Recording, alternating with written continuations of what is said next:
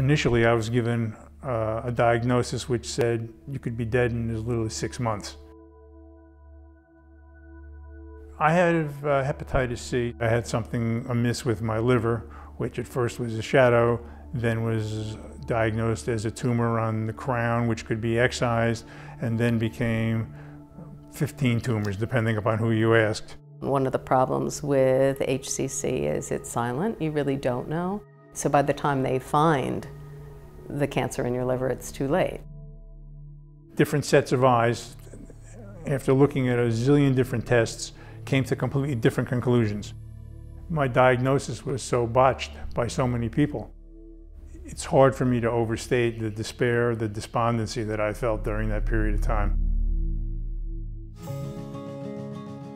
I spoke to friends of mine, and one of them had a transplant performed by Dr. Charles Miller. He said, Charlie's the best. You got to go see Charlie. Jerry's story, like so many, is about ability to handle uncertainty. Jerry was presented with a life-threatening problem, and the way the system worked elsewhere, it actually magnified the uncertainty. With the lack of communication, lack of uh, cohesiveness of the team. What he found here was a different situation.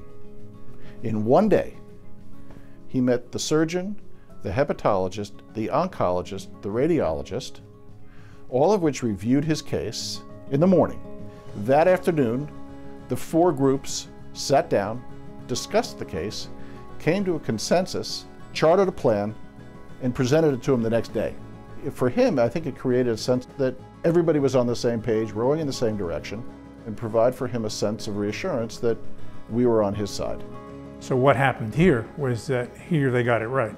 He said, we're going to use this test. It shows two tumors and we're going to present this. You'll be listed, and two to three months later, you'll be transplanted. And in fact, I was transplanted two and a half months later, so he couldn't have been more spot on. All I wanted was a pitch to swing at, and nobody was going to give me a pitch except for here.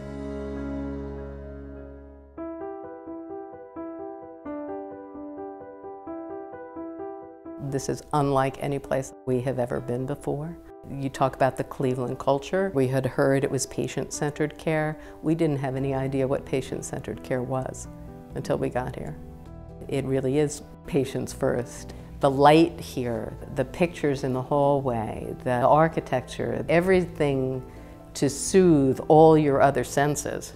When you're walking around with this burden of a diagnosis, not knowing what's going to happen, not feeling so desperate, the physical plant does everything that it possibly can to make you feel better, to soothe all your other senses. I have a psychiatrist friend of mine, and he tells me that very often patients break down into two groups when they've gone through something as arduous as, as what we've gone through. One group, they want to forget about it. It's awful. They don't ever want to revisit it, and they want to do their best they can to pick up the pieces, go on with their life, and pretend it never happened, which of course is very understandable. And then there's another group, which is the group that we are in, which is, wow, who do I thank? How do I thank? We have an unrepayable debt. Research in the first place is what saved Jerry's life. Ongoing research will, A, hopefully keep it going longer than it might have otherwise, and hopefully make it available to more people. Jerry was fortunate. He got an organ. But we all know there's a limited supply, so one of the things that their very generous donations are funding is some very, very novel research into how to resuscitate organs that we now can't use and to make them usable and expand this real game changer technology to make it available for more people. For me, it's a miracle. I mean, it's overused and maybe trivialized word, but for me personally, not overused and not trivial. Uh, there's a strong likelihood I would, would not be here, if, if not virtual certainty, were it not for the Cleveland Clinic.